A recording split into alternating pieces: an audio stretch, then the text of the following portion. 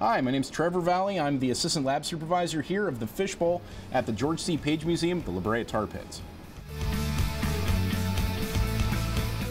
Well, uh, right now, in front of me is Zed's right scapula. It's uh, basically the shoulder blade of our newest and biggest mammoth we've got going on here at Rancho La Brea. It's, it's pretty cool. Right now I'm just using a dental pick and getting some of this clay and asphalt off. This specific one, we've flipped over on the other side. We worked on it for a couple months, then we just recently flipped it over onto this side. It'll take about a month of careful detailing and cleaning, and then we'll make a cradle for it and put it out into the museum. So you're talking about a good half a year process. This is Zed's tibia, it's a shin bone. Now, it's not in very good shape because, well, the preservation isn't that great on this one. So in order to figure out what's what and where, we have to use a comparative sample. We have to actually take a bone that looks a lot like this one and compare it and see where all the pieces are missing from. So in this case, I've got this one. This is also a tibia, but this is from an Asian elephant. This is a modern elephant. Now, elephants and mammoths very closely related, and you can see size difference is a little bit intense here. So the Asian elephant is probably the ones you've seen at the LA Zoo and zoos around the world. Our mammoth, uh, he was considerably larger.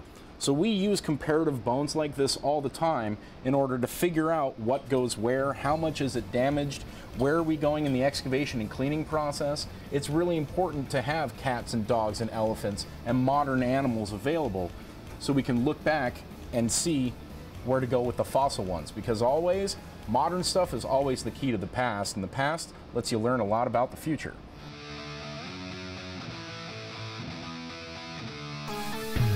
Now this is National Fossil Day, so first we actually really have to say what is a fossil? Well, here at the tar pits, we tend to use the term fossil as evidence of ancient life. Something that used to be alive a long time ago, it's dead now, possibly extinct, things like that. Now, that doesn't mean a fossil has to be a bone. It could be a plant. This is actually a piece of fossil wood from one of the tar pits, and we consider this a fossil. Now, a lot of people will say, hey, wait a minute, your stuff isn't fossilized. It hasn't been turned to stone. It hasn't been replaced. It's not a real fossil. Well, that's not necessarily true. See, our fossils, yes, they're real. This is an actual mammoth tusk. It hasn't been replaced by anything. This is an actual piece of plant material. It hasn't been replaced by anything.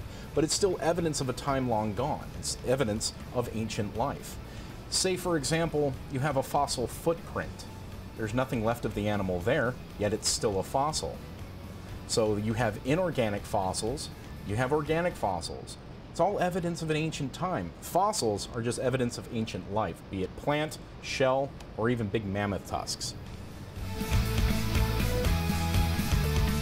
Some of the most important work we do is looking through one of these magnifying glasses using a paintbrush and sorting through tiny little piles of dirt. See, all the sediment that comes off of a large bone like that contains a whole bunch of different answers to a whole bunch of different questions. Most importantly, what was the environment like? So we're looking for microfossils, tiny little bones of animals that actually lived here in the park, like small mice, reptiles, lizards, turtles, things like that. We're finding shell pieces, plant material, even sections of insects. Now, when we combine all that together, we can actually figure out the paleoecology or what the habitat was like back during the last ice age. Just from looking through little piles of dirt and figuring out what's what. See, because the big animals, they were cool, but they didn't live here. They just died here. All this little stuff, they're actually part of Hancock Park. So it's, it's kind of a neat thing that way.